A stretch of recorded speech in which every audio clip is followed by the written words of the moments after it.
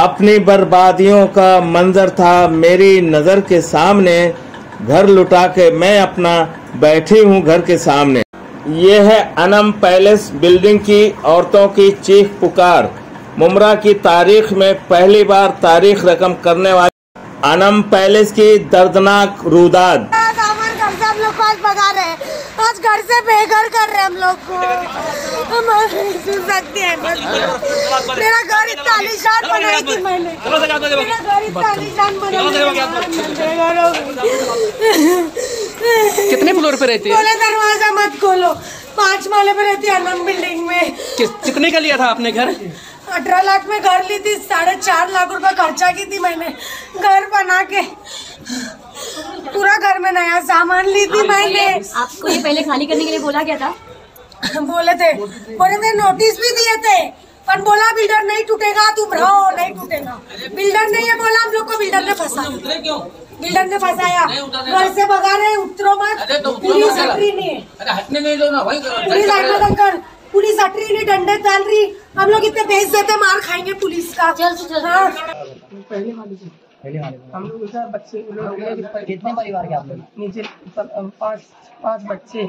हाँ और पाँच बच्चे और हाँ शहर नहीं है। तो आप लोग कहाँ जाएँगे? हम लोग का वही तो बोल रहे सामान नीचे ला के रख दिए हैं।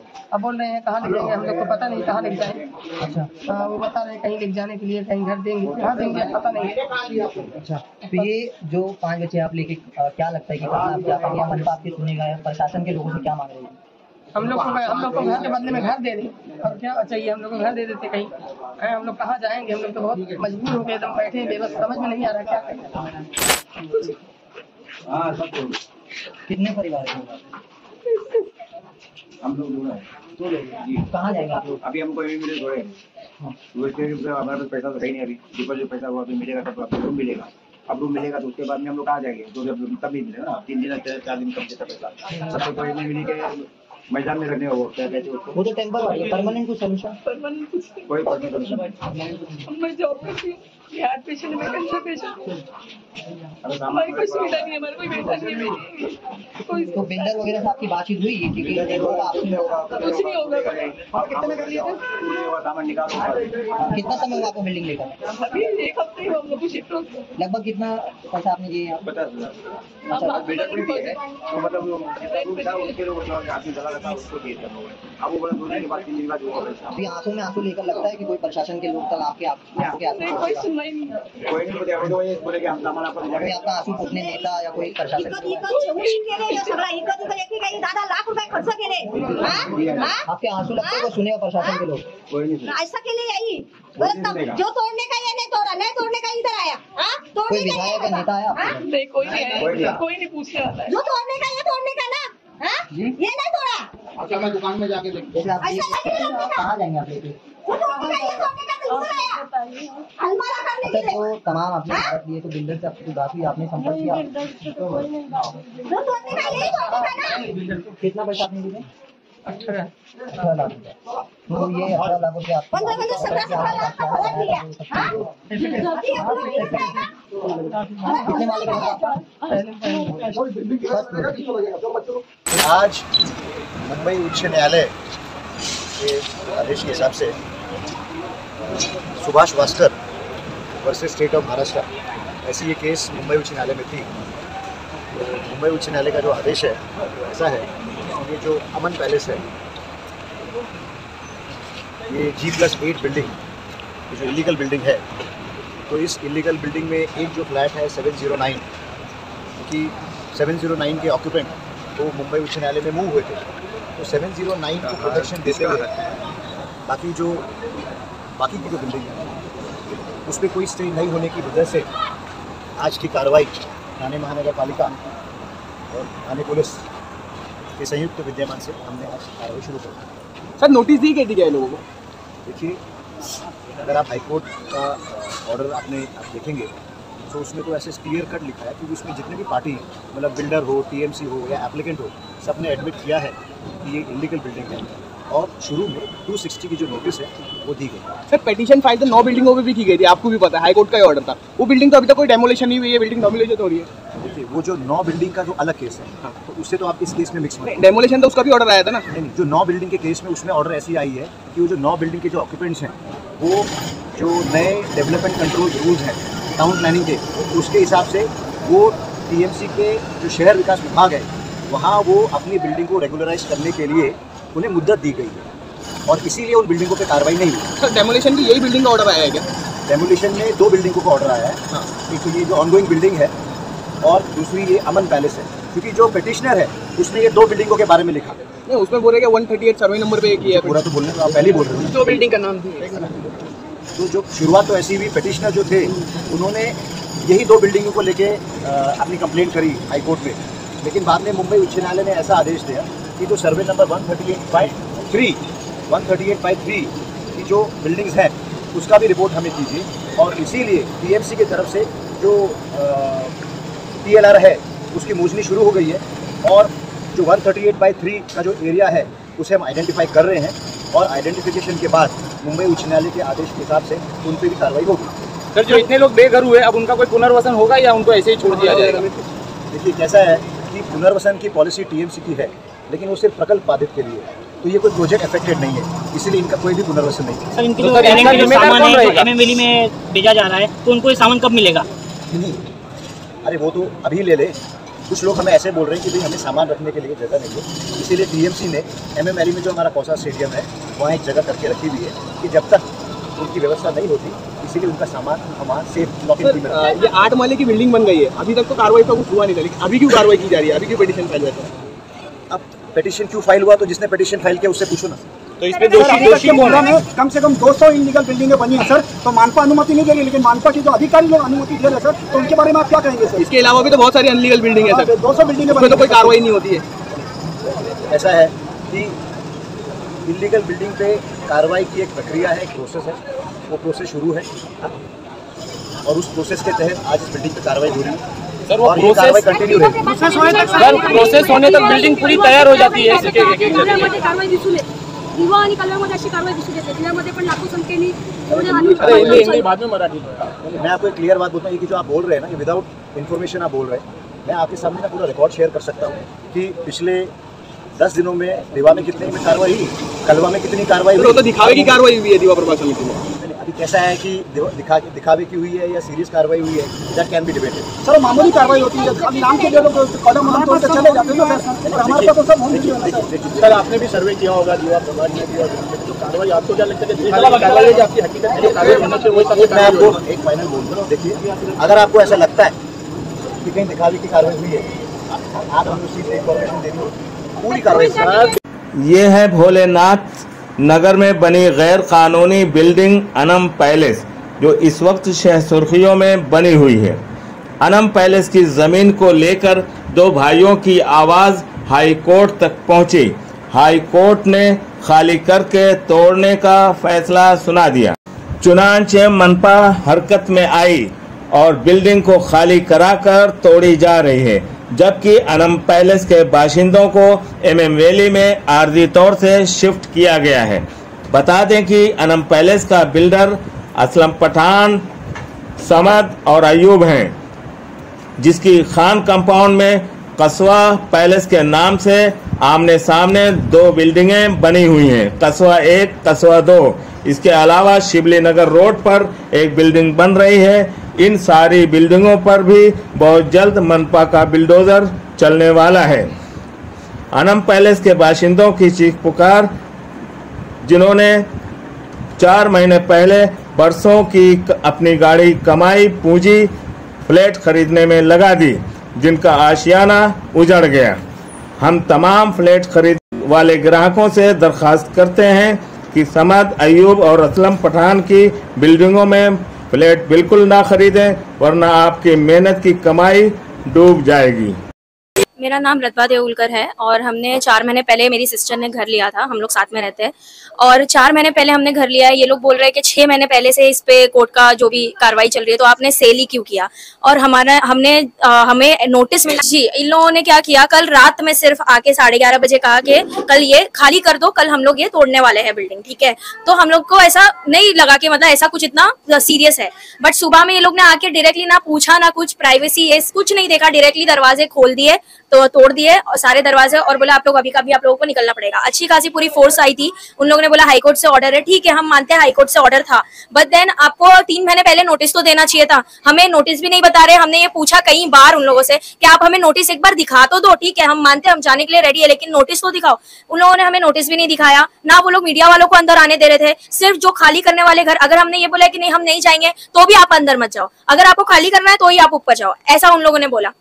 लोग बुला के खाली करवाया घर सब तोड़म ताड़ी कर दिया अंदर से और हम लोगों को हम लोग ने पूछा कि क्या रिस्पॉन्सिबल आप कुछ आ, ये लोगे हमें अकोमोडेशन दोगे या फिर आप हमें पैसे का बता दो कि यार क्या होने वाला है क्या नहीं होने वाला है कब मिलेगा? तो उन लोगों ने बोला हम रिस्पॉन्सिबल नहीं है टीएमसी वाले रिस्पॉन्सिबल नहीं हमें जो कोर्ट से आया है हम वो कर रहे हैं। और बिल्डर फ़ोन नहीं उठा रहा है ना कॉर्पोरेशन ज़िम्मेदारी ले रही है ना बिल्डर ले रहा है कोई नहीं ले रहा है। मतलब पैसा हमारा डूब गया सत्रह लाख का लिया हुआ घर। और हाँ, मेरी सिस्टर जो है उनके हस्बैंड है सऊदी ठीक है वो यहाँ पे है भी नहीं। उनके दो बच्चे वो अकेली यहाँ पे रहती है और मैं साथ में रहती हूँ। बताइए दो औरतें रह के हम लोग कैसे कहाँ जाए? जून में दो माले पे 209 में हम रहते हैं। और हमें कुछ भी पता नहीं था ऐसा कुछ होगा। और सत्रह लाख रुपए पूरा डूब गए। ना कोई ज़िम्मेदारी ले रहा है ना कुछ पता है अब कभी मिलेगा या नहीं मिलेगा कुछ भी इसका आइडिया पता नहीं नहीं कुछ नहीं पता था। एजेंट जिसने लिए जिससे हमने लिया है उसने भी हमें नहीं बताया। किसी ने कुछ नहीं बताया। ये अचानक से एक ये आ गया क्या नाम क्या एजेंट का क्या नाम है? बिल्डर का क्या नाम है? लियाकत भाई। लियाकत भाई नाम है और बिल्डर है समद अयूब असलम। ये तीनों का कुछ था इन लोग भाइयों का है, और वो कोई सुभाष करके जिनकी ज़मीन है, जिन्होंने जीता है केस, वो उनकी ज़मीन है। अब इन लोगों के इसमें सारे जो मिडिल क्लास फैमिली है, हम सब लोअर मिडिल क्लास फैमिली एक एक जोड़ के पैसा घर लिया है, और वो हमारा पूरा गया पानी में, और हम लोग सब अभी बेघर हो चुके हैं, हमारे जितने भी है यहाँ पे घर। रोड पे आ चुके हैं, हमारे पास सर, छत भी नहीं है रहने के लिए, हम कहाँ जाएँगे, आज की रात कहाँ गुजरेगी, कुछ नहीं पता है। और हमारा सामान स्टेडियम पे रख दिया है बस। पेपर्स पेपर्स मिले थे आपको प्रॉपर वहाँ से? नहीं कुछ पेपर जो घर खरीदा है हाँ उसके हमारे पास पेपर है ये पेपर है। ये हमारा पूरा दिया गया पैसा का भी आपको मैं बता दूँ। ओरिजिनल पेपर जी ये ओरिजिनल पेपर है। ये देखिए ये लोग है। ठीक है और आपको मैं पैसे बता देती हूँ। ये देखिए पूरा पैसा हमने दे चुके हैं सत्रह लाख रुपए।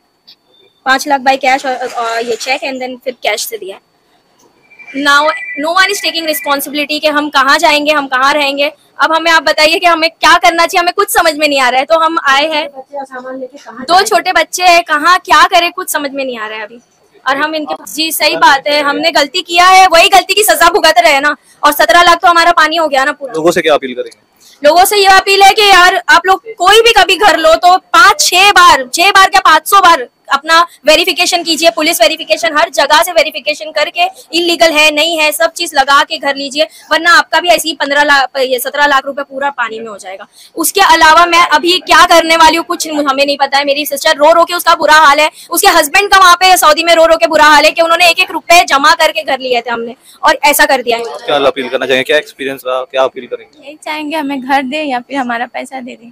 या तो उम्मीद है घर बिल्कुल उम्मीद है पैसा या घर मिलने की तो उम्मीद रहेगी ना। किसको नहीं रहेगी? सत्रह लाख रुपए हराम का थोड़ी है मेहनत का पैसा है। बहुत बुरा हाल था जो भी सिचुएशन उधर था एट प्रेजेंट हमने देखा हम वहीं से यहाँ पर आए हैं अभी थोड़ी देर पहले और लोगों का सामान जो है उसको इम्पोर्टेंस दिया जा रहा है। मैं तो सबसे पहले ये बात बताना चाहती हूँ की ऐसे लोगों को ये आंटी ये आंटी जो सब मौजूद है ये रो रहे थे जेन्युनली उधर खड़े रह के कि उनका जो घर है वो इतनी मेहनत से इन्होंने पैसे जमा करके जो लिया है वो एक रातों रात वो चीज़ खत्म हो गई है और उनके पास कोई सोल्यूशन नहीं है। और टीएमसी क्या कर रही है? लोगों को अकोमोडेशन देने के बजाय लोगों के सामान को अकोमोडेशन दे रही है कि हम स्टेडियम में तुम्हारा सामान रखेंगे। कब तक रखेंगे पता नहीं वो कब तक रखेंगे उसका कुछ उन्होंने बताया नहीं है आइडिया भी नहीं है हमको लेकिन वो उनका बोलना ऐसा है कि हम सामान रख रहे हैं। लेकिन इंसानों से ज़्यादा कीमत आजकल सामानों की है ये क्वेश्चन है मेरा टीएमसी से। और आवाड अंकल भी बोल बोल के थक गए कि इलीगल बिल्डिंग बंद करो इलीगल का काम बंद करो लेकिन मुमरा में कोई सुना नहीं वो चीज़। आपके डैडी ने भी हाल में आवाज़ उठाई हाँ और हमारे एरिया में भी जैसे हम इधर काम करते ग्राउंड लेवल पे करते पब्लिक रिप्रेजेंटेटिव हम लोगों की डे टू डे प्रॉब्लम से वाकिफ है पानी से लेके लाइट से लेके हर चीज़ से लोगों को तकलीफ़ है। कई ज़्यादा हद तक पानी की जो प्रॉब्लम स्लम एरियाज़ में होती है, वो ये इलीगल बिल्डरों और इलीगल बिल्डिंगों की वजह से होती है। क्योंकि तुम 50 घर तोड़ के बोलोगे 300 लोगों को बिल्डिंग में अकोमोडेट करोगे तो तुम वो पानी कहाँ से एडुकेट अमाउंट का पहुंचाओगे लोगों तक? वो तो समझदारी की चीज़ ही नहीं है। तुम पचास लोगों का पानी जिधर जा रहा है, वो एडवोकेट अमाउंट है। उसको कट करके तीन सौ लोगों को फ्लैट देके बोल रहे हो हाँ हम तुमको पानी पहुंचाएँगे। तो चोरी की लाइन से पहुँचा रहे, कि कौन सी लाइन से पहुँचा रहे, जिसकी वजह से पानी की तकलीफ़ होती, किल्लत हो जाती। फिर लोग आते हैं पॉलिटिशियंस के पास की बोले, तुम पानी नहीं दे रहे, जबकि हमारा काम नहीं है पानी सप्लाई करना वाटर डिपार्टमेंट का है। तो ये in whole and sole TMC के ऊपर बात आ जाती है तो प्लीज़ सबसे अपील है कि इलीगल बिल्डिंग अगर आपके एतराफ में दिख रही है बनते हुए उस पर एक्शन उठाना अपना काम है एज ए रिस्पॉन्सिबल सिटीजन मैं एक और चीज़ कहना चाहूँगी मुमरा में अभी कितनी इलीगल बिल्डिंग अभी भी बन रही है? अगर हमारी तोड़ी गई है सबकी तोड़ी है। सबका हाईकोर्ट अगर इतना ही, इतना सीरियस एक्शन हमारी बिल्डिंग पे ले सकती है, उनको अगर फ़र्क नहीं पड़ रहा है, हमारे घर टूट गए, हमारे पास छत नहीं है, उनको किसी चीज़ का कोई फ़र्क नहीं पड़ रहा है, वो तो अपने घर में सो रहे हैं, हमारे पास तो छत भी नहीं है सोने के लिए अब। और जो ये अभी इतनी बिल्डिंग बन रही है, और लोगों के साथ फ्रॉड किया जाएगा ना, उन लोगों का भी कभी उठ के तोड़ देंगे बिल्डिंग उन्हें क्या उन्हें क्या पता? तो लोगों के साथ फिर वही चीज़ होगी। मुमरा में आज भी इतनी बिल्डिंग बन रही है, उन सबको रुकाइए, उन वो सारी बिल्डिंग को बंद कराइए।